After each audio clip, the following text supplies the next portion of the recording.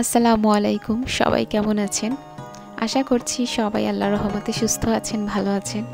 আলহামদুলিল্লাহ, আমরা ভালো আছি। অনেক দিন পর একটি নতুন ভিডিও নিয়ে আপনাদের মাঝে চলে আসলাম। আসলে এত দিন কেন ভিডিও দিই না, এতদিন বললে ভুল হবে। অনেকটা মাস হয়ে গেছে যে ভিডিও দেই না। তো কেন দেই না, কী কারণে দেই না, সেটা হয়তো বা কোনো মানে পরে কোনো ভিডিও দিলে আপনাদের সাথে অবশ্যই শেয়ার করব। তো আপাতত হচ্ছে সন্ধ্যা থেকে ভিডিওটি হচ্ছে শুরু করলাম। সন্ধ্যার দিকে হচ্ছে আবিহার বাবা কিন্তু আমাকে পিঠা দিয়ে গিয়েছিল সেটা খেয়েছি, তারপর হচ্ছে এই চা খেলাম। তো এদিকে হচ্ছে সবজি নিয়ে এসেছিল কিছু মানে অফিসে অফিস থেকে আর কি গতকালকে ফেরার সময় আর কি সকালবেলা হচ্ছে সবজিগুলো নিয়ে আসা হয়েছিল। তো এখানে শীতের বিভিন্ন রকম সবজি আছে, আর আছে জলপাই জলপাই এনেছিলাম। কারণ হঠাৎ করে হচ্ছে আমার একটু জলপাই ভর্তা খেতে ইচ্ছে করতেছিল। তো কিছুটা খেয়ে ফেলেছি, আর এখনও আছে কিছুটা। তো আবার পরবর্তীতে খাব ইনশাল্লাহ। তো এখানে তো শীতের সবজি, গাজর, তারপর হচ্ছে সিম, ফুলকপি, পেঁয়াজের কলি তো এই তো এগুলো আর কি আনা হয়েছিল। কারণ হচ্ছে আমি একটা মিক্স ভাজি করব। তো এর জন্য আনা হয়েছিল। আর এখানে দেখতেই পাচ্ছেন অনেকগুলো গাজর আনা হয়েছে। তো এগুলো আমি আনতে বলেছিলাম আবিহার বাবাকে, কিন্তু ও আর কি একবারে বেশি করে এনে ফেলেছে। কারণ এগুলো হচ্ছে তো সাথে সাথেই খাওয়া হয় না। দেখা যায় ক নুডলস খাওয়া হলে বা ভাজি খাওয়া হলে সেই ক্ষেত্রে আমার এগুলো ব্যবহার করা হয়। তো এছাড়া তো দেখা যাবে যে ফ্রিজে থাকলেও কিন্তু নষ্ট হয়ে যায়, অনেক দিন হয়ে গেলে। তো ভাবলাম যে ঠিক আছে, তাহলে কষ্ট করে এগুলো আমি কুচিয়ে আর কি ডিপে সংরক্ষণ করে রেখে দিই। তো আমি যে, আমি এর আগেও অনেকবার সংরক্ষণ করে রেখে দিয়েছি গাজর। তো আমি কীভাবে সংরক্ষণ করে রাখি ডিপে, ডিপ ফ্রিজে সেটাই হচ্ছে আপনাদের সাথে শেয়ার করছি। তো এইভাবে রাখলে কিন্তু অনেক দিন, অনেক মাস পর্যন্ত কিন্তু গাজর ভালো থাকে, কিচ্ছু হয় না আর কি। ব্যবহার করার পরে আপনারা বুঝবেন না যে এটা হচ্ছে অনেক দিন আগের আর কি। তো এই তো, আমি কিন্তু গাজরগুলো খুব ভালো করে ধুয়ে নিয়েছি, ধুয়ে তারপর হচ্ছে তো, এখন হচ্ছে গাজরগুলো ছিলে নিচ্ছি। একটা এই তো, কাটার দিয়ে আর কি, সবজি কাটার দিয়ে। আর যারা আসলে বটি দিয়ে কাটতে অভ্যস্ত, তারা কিন্তু বটি দিয়েই কেটে নিতে পারেন। আমি আসলে পারি না মানে শসা, আলু কিংবা গাজর এই জাতীয় সবজিগুলো দেখা যায় যে আর কি কাটার দিয়ে আর কি আমি বেশি আর কি সুবিধা পাই আর কি ছুলতে।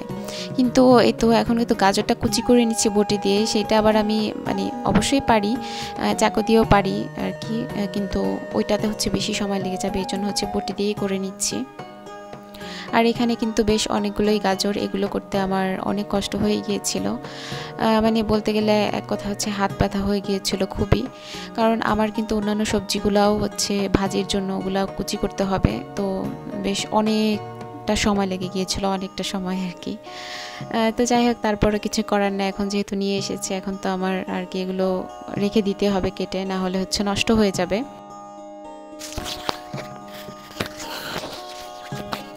গাজর হচ্ছে এমন একটা সবজি মানে এটা হচ্ছে মিষ্টি জাতীয় খাবারও তৈরি করা যায় আর কি। গাজর দিয়ে আবার নুডলস বা ভাজি সব কিছুতে কিন্তু খাওয়া যায়।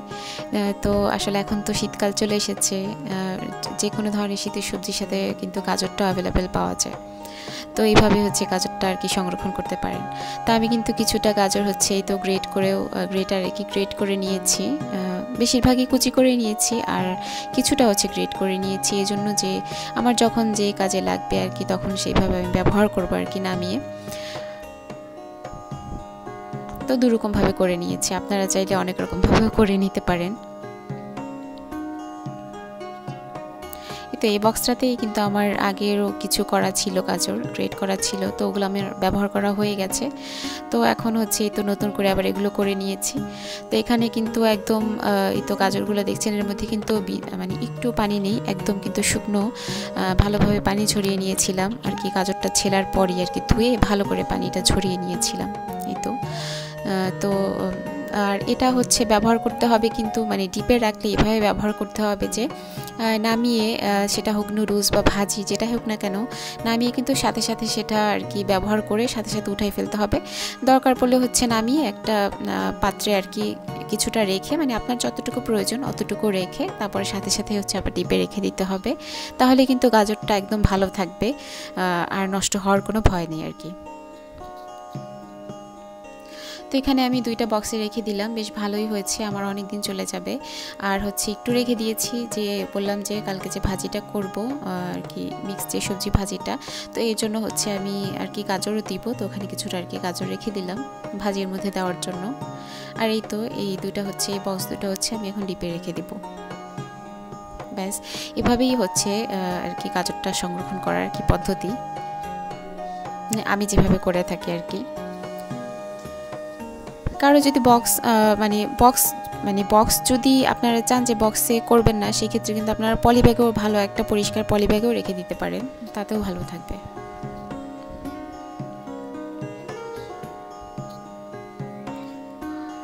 এটা হচ্ছে পরের দিন সকালবেলা। এই তো আমি কিন্তু অফ ক্যামেরাতে সরি সরি পরের দিন সকাল না মানে রাতের বেলায় আর কি। এই ভিডিওটুকু, এই ক্লিপটুকু আমি কিন্তু অফ ক্যামেরাতে এই ভাজিগুলো কেটে নিয়েছি। সিম ভাজি এই ভাজির, কি বলব, কথা শুধু আটকে যাচ্ছে। সবজিগুলো কেটে নিয়েছি, সিম, আলু, গাজর, ফুলকপি।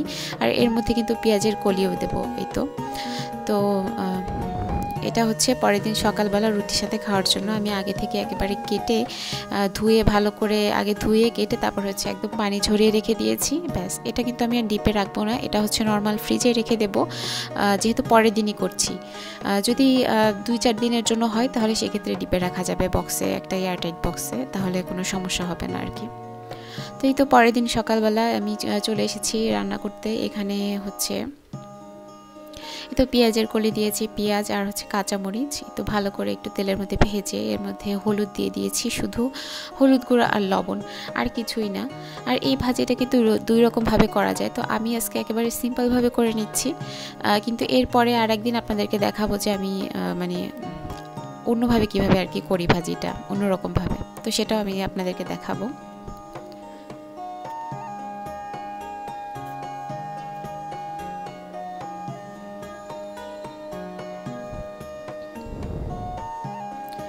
তো ওই তো সবজিগুলো দেওয়ার পর একটু ভালোভাবে নেড়ে চেড়ে এরপর হচ্ছে আমি ঢাকনা দিয়ে অল্প আছে আর কি, ভেজে নেব।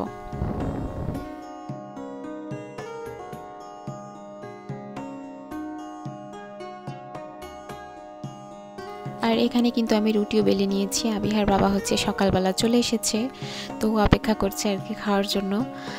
তো আমরা দুজন একসাথে খাব। তো এখানে তো রুটি বেলে নিয়েছি আমার মেয়ের জন্য, আবিহার বাবার জন্য আর আমার জন্য এই তো, তিনজনের জন্য। তো এই তো রুটিগুলো ভেজে নিচ্ছি। আর ভাজতে ভাজতে আপনাদের সবার কাছে একটা রিকোয়েস্ট আমার বরাবরের মতোই। যদি আমার ভিডিওগুলো দেখে আপনাদের ভালো লেগে থাকে, তাহলে প্লিজ ভিডিওতে লাইক দিতে ভুলবেন না একটা, সেই সাথে কমেন্ট শেয়ার করতেও ভুলবেন না। আর যদি মনে করেন যে আপনাদের আমার ভিডিওটি ভালো লাগে, ভিডিওগুলো ভালো লাগে, তাহলে সেক্ষেত্রে কিন্তু আমার চ্যানেলটাকে সাবস্ক্রাইব করে দিতে পারেন পরবর্তী ভিডিওগুলো দেখার জন্য। আর এতে করে আমি বেশ উপকৃত হব।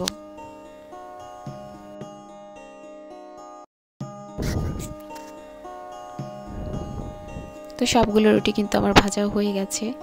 আর এখানে কিন্তু আমার ভাজিটাও আর কি একদম শেষের পর্যায়ে আর কি হয়ে গেছে। তো বন্ধ করে দেবো চুলাটা। এই শীতের দিনে আসলে মানে শীত তো পড়ে যাচ্ছে আর কি, পড়েছে অলরেডি এই শীতের দিনে। সকালবেলা গরম গরম ফুলকো রুটি আর হচ্ছে সেই সাথে সবজি, ভাজি, তো এইগুলো আসলে খেতে কিন্তু খুবই ভালো লাগে। আর এখন যেহেতু শীত পড়ে গিয়েছে, এখন দেখা যাবে যে প্রায় সময় আর কি এই ভাজিটা আর কি খাওয়া হবে রুটির সাথে। আমার তো বেশ পছন্দ আভিয়ার বাবারও বেশ পছন্দ। আর আমি কিন্তু আমার মেয়েকে খাবার দিয়ে দিয়েছি, তো ওকে একা একা খাবারের মানে অভ্যাস করাচ্ছি আর কি, একা একা দিয়েছি। যতটুকু খায় আর কি একা একা খাওয়ার পরে এরপরে হচ্ছে আমি খাওয়াই দিই মানে যদি খেতে চায় আর কি, আর না খেতে চাইলে তো না আর এখানে হচ্ছে আবিহার বাবার আর আমার জন্য আর কি সাথে ডিম পোচ করে নিয়েছি। এই যে দেখেন ভাজিটা ভাজিটা কিন্তু কালারটা কালারফুল ভাজি। দেখতে যেরকম সুন্দর হয়েছে, খেতেও কিন্তু অসম্ভব মজা হয়েছে। একেবারে সিম্পল ওয়েতে আর কি ভাজিটা তৈরি করেছি। তা আমার কাছে এভাবে ভালো লাগে খেতে। তো রুটি, সবজি, ভাজি খাওয়ার পরে হচ্ছে, এই তো বিশ মিনিট পরে হচ্ছে আমি এখন যে গ্রিন টি খেয়ে নেব। এর আগে আমি দেখিয়েছিলাম যে আমি লুজ গ্রিন টি এনেছিলাম। তো এখন হচ্ছে, এবার হচ্ছে আমি এরকম প্যাকেটে কিনেছি আর কি। এটার সাথে লেমন আছে, তারপরে আছে হানি আছে। তো এই জন্যই আর কি আমার কেনা আর কি এই প্যাকেট তো আমি হচ্ছে এভাবে আর কি কেটে, তারপরে সুতোটা কেটে, তারপর হচ্ছে জ্বালিয়ে নিই। এক্ষেত্রে হচ্ছে সুন্দর একটা কালার আসে চায়ের মধ্যে, খুবই সুন্দর কালার আসে। বেশ অনেকক্ষণ জাল হয়। আর যদি আমি শুধু জাস্ট গরম পানির ভিতর টি ব্যাগটা যদি দিয়ে দিই, তাহলে হচ্ছে কালারটা সেরকম আসে না। আর এরকম জাল দিলে দেখা যায় যে সুন্দর একটা কালারও আসে, চাটা একটু কড়াও হয় আর খেতেও বেশ ভালো লাগে। অবশ্যই সেটা চিনি ছাড়া।